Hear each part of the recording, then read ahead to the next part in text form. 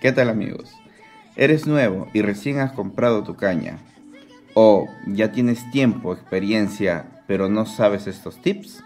Acompáñanos que hoy te daremos los tips principales para tener una buena caña operativa.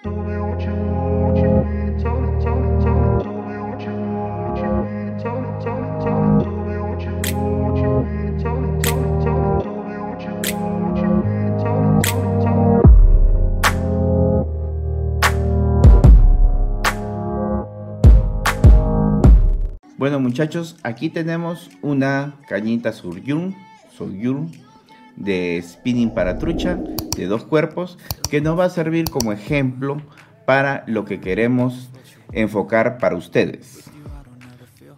Primero, la limpieza. La limpieza después de cada salida de pesca es muy importante en los equipos.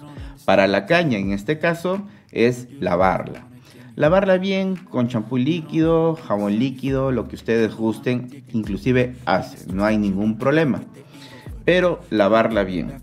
Donde están los embones tenemos que evitar que entre la arena. Por lo tanto, si tú le pones un poquito de agua del caño por acá, zamaqueas y botas, esa arena ya no va a estar dentro. Muy importante es si tienes mango de corcho, de espuma eva o de otro material lo que sea, lavarla y después de eso secarla con un buen paño.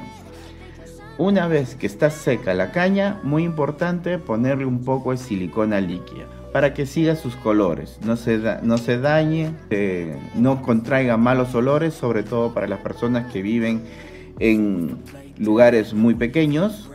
El WD-40 ayuda mucho a las anillas sobre todo cuando son anillas muy baratas. Le puedes, echar una gotita después de la lavada y dejarla ahí. Eso evita que se genere el moho verde y, y, el óxido y se destruyan tus anillas. Muy importante, muy importante eso. Yo lo vengo usando por más de 7 años y siguen intactas mis cañas. Así que muchachos, ustedes deciden. Y haremos un video más fuerte sobre eso. Los embones de la caña. Si tú recién has comprado una caña y quieres embonar tu cañita, estos embones tienen que venir bien ajustados, ¿correcto? ¿Qué pasa si los embones están flojos de fábrica y no entra todo? Esa caña está defectuosa, así que por favor, si recién la has comprado o estás en tienda, pide otra. Estos embones siempre vienen con uno o 2 centímetros extra para que pueda ingresar, porque si son de carbono se va a desgastar. Es como un lápiz, mientras más fricción tenga el lápiz, se va a desgastar la punta. Igual la caña, mientras más fricción hagamos de metiendo y sacando de, ah, este, para pescar, embonando la caña para, para llevarla a pescar, esto se va a seguir desgastando. Así que muy importante que tenga ese un centímetro o dos centímetros extra en tu caña nueva. Olvídate que dicen que, es, que es importante que lo, que lo lijes, que tanta cosa. Eso es pura farsa.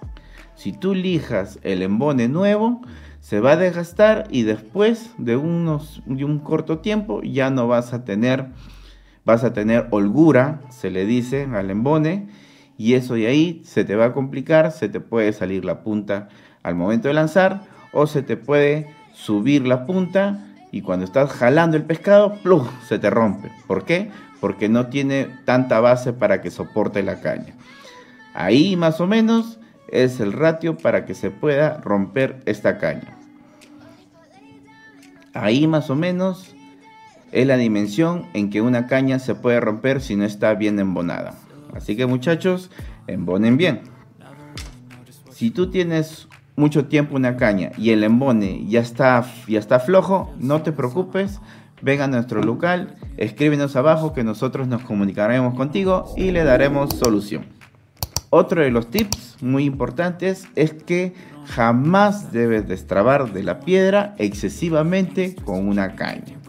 Esto podría generar en un futuro posibles microfracturas en la caña que se podría romper en un lanzamiento o en tu propia casa. Así que mucho cuidado con eso.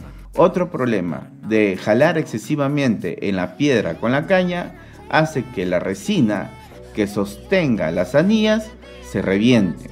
Así que muchachos, las cañas no son grúas para que puedas levantar el pescado o destrabar en la piedra, ¿correcto? Uno de los problemas más graves que tenemos los pescadores es que muchos de nosotros no limpiamos la rosca del portacarretes. Esta rosquita muchas veces se llena de grasa de las manos del langostino o de arena. Si tú no llegas a tu casa y lo limpias con un cepillo de dientes o un cepillo de lavarropa y con un poco de asia, aunque sea, jabón líquido, lo que tú gustes, esto de acá cuando tú enrosques se va a vencer por la arena. Y al vencer, este portacarretes ya no vale, se te va a salir el carrete y vas a complicar tu caña. Si tienes ese problema, quédate acá en los comentarios, escríbenos y nosotros nos comunicaremos contigo. Lo podemos solucionar. Pero lo indispensable es que eviten eso. Así que cuiden, laven sus equipos bien. Y uno de los tips que me parecen uno de los más importantes es que jamás golpees tu caña, ya sea en el piso, ya sea ya sea la parte de abajo del embone lo hagas caer al piso, lo hagas caer en una piedra o cualquier otro problema que lo quieras meter al carro, qué sé yo. Si tú golpeas mucho una caña, esto también puede crear microfisuras. Esas microfisuras no los vas a sentir hoy, no lo vas a sentir mañana, pero en algún momento, en el momento menos, menos impensable, se te rompe la caña y tú vas a decir por qué. Así que muchachos, mucho cuidado y a cuidar sus equipos.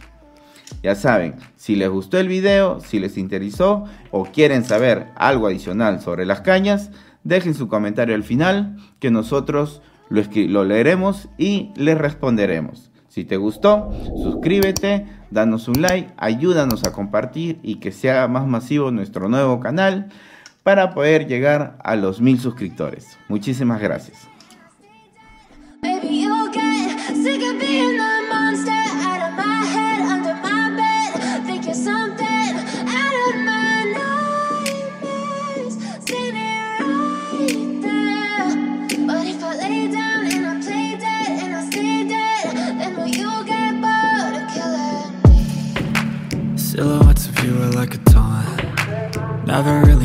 What you want. With you I don't ever feel calm. I can feel the sweat inside my palms. Play with me like cats and a string. You don't understand the pain it brings. You don't ever wanna give me wings